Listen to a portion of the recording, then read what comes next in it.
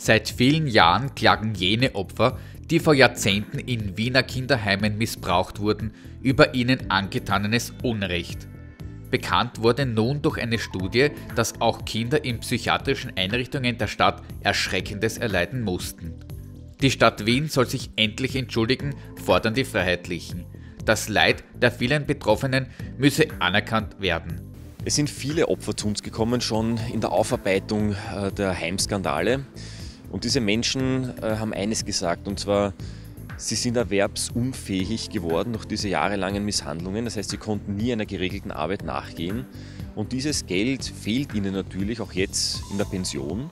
Und darum wollen wir sichergestellt wissen, dass die Stadt Wien endlich dieses Leid anerkennt und eine Opferrente auszahlt, weil diese Menschen nie in den Arbeitsprozess eintreten konnten. Bundeskanzler Christian Kern hat zumindest eine Rente von 300 Euro für Missbrauchsopfer zugesagt. Und wir sagen, das muss mindestens von Wien verdoppelt werden, das heißt zusätzlich noch einmal 300 Euro an Opferrente Minimum. Aber was den Menschen wichtig ist, und das ist aus diesen vielen Gesprächen herausgekommen, ist, dass nicht nur das Geld für sie wichtig ist, sondern auch ein Akt der Anerkennung, ein Akt der Entschuldigung, der seitens der Stadt Wien endlich getätigt werden soll.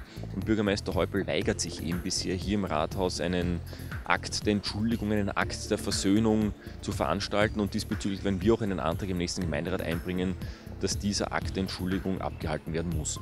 Außerdem werden die Freiheitlichen eine Gedenktafel beantragen. In Wien gibt es ja viele Gedenktafeln für viele, viele Opfer und das ist auch wichtig so, aber es fehlt noch eine Gedenktafel und das ist eine Gedenktafel für die zahlreichen Opfer in den Kinder- und Jugendheimen in der Stadt Wien.